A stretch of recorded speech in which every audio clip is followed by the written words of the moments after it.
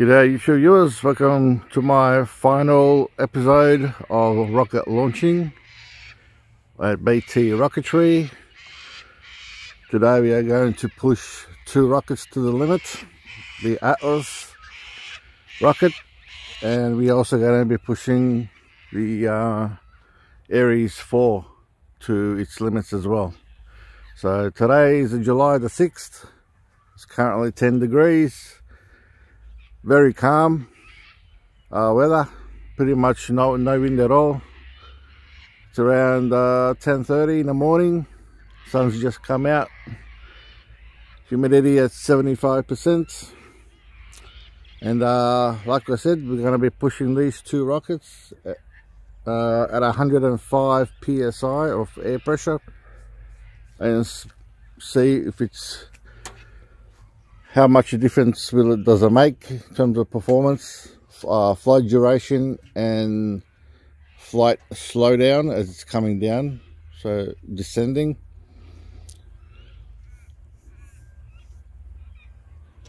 Still a bit cold. Even the air cannon's a bit, bit cold. I made sure that uh, the Atlas all the joints are nice and uh, secure make sure the fins are nice and secure because it's uh, really high pressure. I've never done a 105 psi before.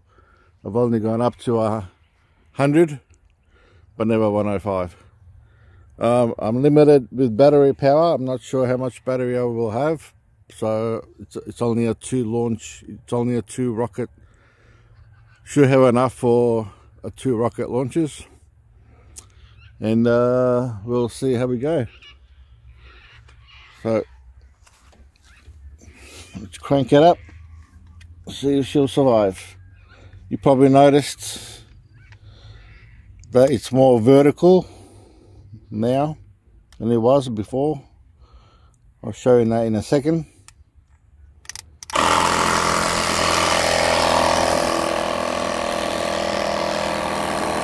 We've got a bit more vertical now.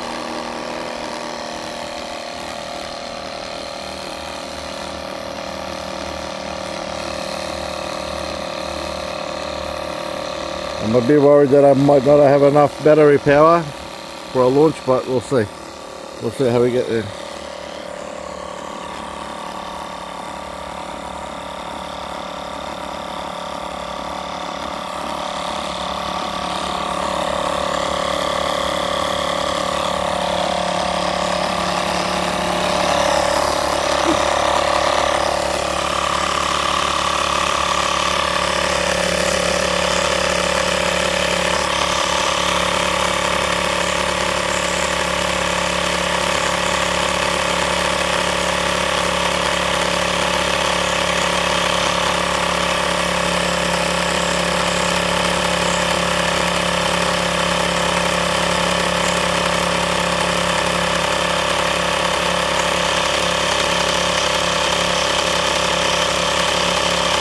45,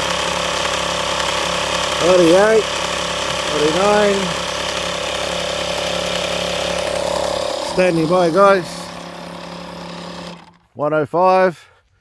Atlas going in three, two, one. Didn't like that. Touchdown.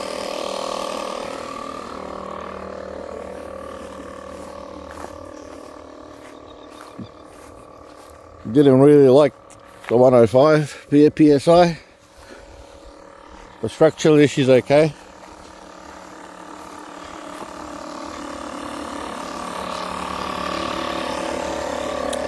I will relaunch it again. Hopefully I've got enough power.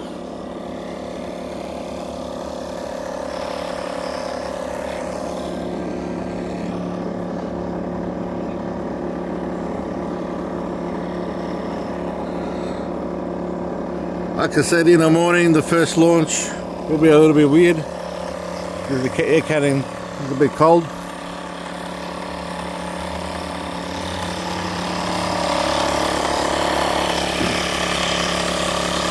Eighty-five, 89, 90,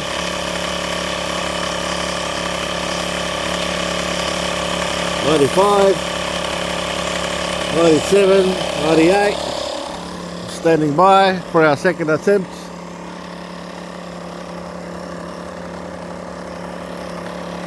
Here we go, 105 PSI Atlas in three, two, one. Little bit better. Now I've got to find it.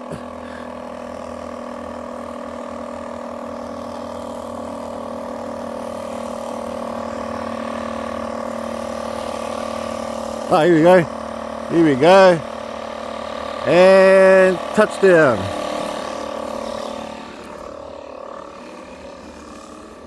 It actually landed almost where it launched. Bringing Ares 4 straight away to the pad.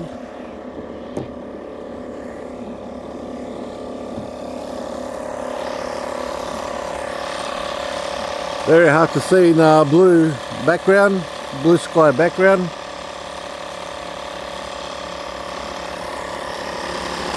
Not sure if the video can capture that. Ares 4, 77, 80, 85, 90,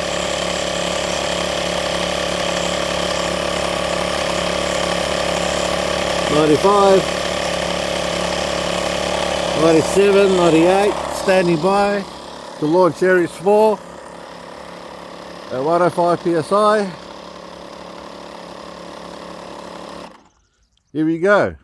Three, two, one. Uh oh. My cannon just went loose.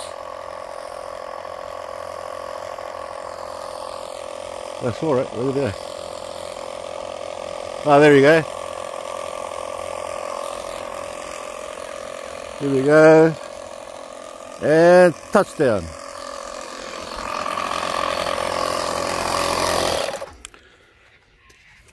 Okay, so the cannons come off. That's how much uh, force there is. Probably should have replaced a bit the cables a little bit stronger, but also meant I had to put a little bit bigger holes.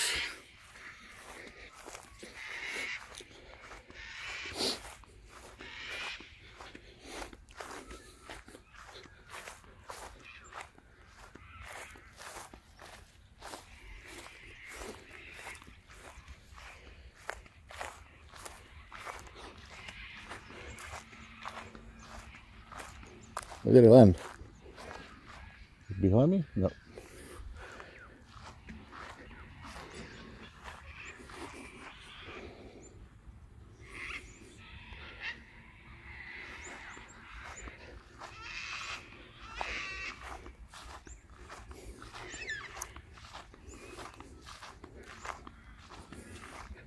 Maybe I'm too far this way.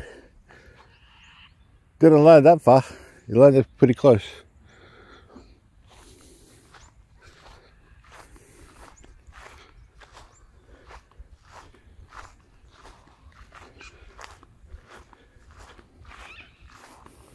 Ah, there you go.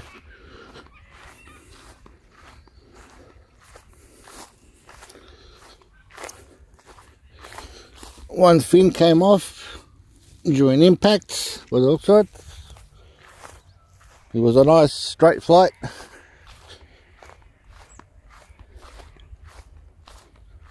But there was a fair bit of a kickback then. If there was no kickback I reckon it could have launched a little bit more higher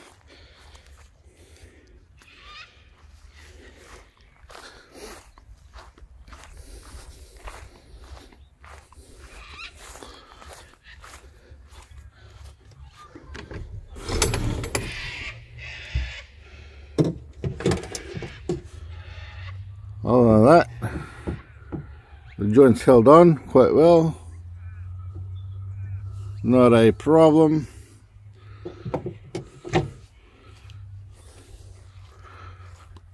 We go grab Atlas.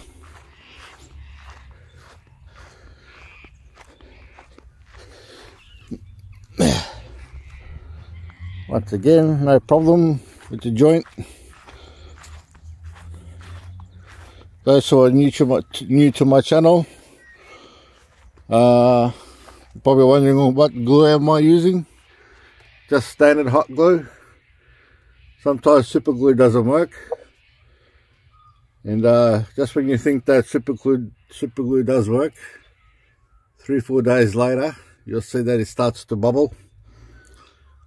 And um, could cause a few problems or issues.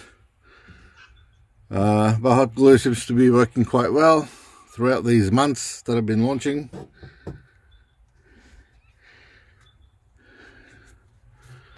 I don't see any rupture, I don't see any tear at 105 psi of pressure. Feels like he wants to, but he hasn't. Once again, strong. Fins have held on quite well.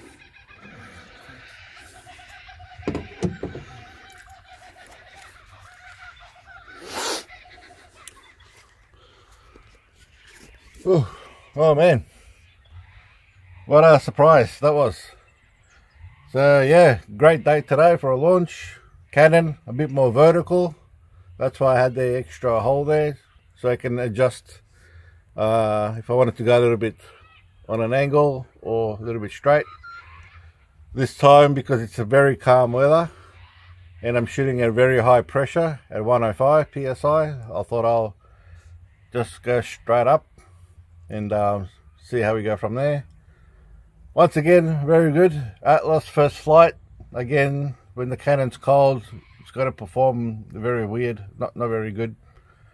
I was gonna, I was planning to pressurize it a bit, maybe up to 40 psi, just with a hand pump, and just get that in the inside of the air cannon a bit warm. Uh, so when I head up here, uh, I'll just release the pressure and uh, I'll know that the inside of the cannon is nice and warm and then when I do actually launch my rockets I know they'll go up first time every time. Uh, this time around I didn't do it. Um, but as you saw Atlas really high. Even uh, Ares 4 has done a really good job a little bit hard to see once again with the blue sky in the background. It was a bit of a cloudy day, like a grey grey cloud, grey clouds. No problem, you'll see it. I had to make sure that the sun was behind me.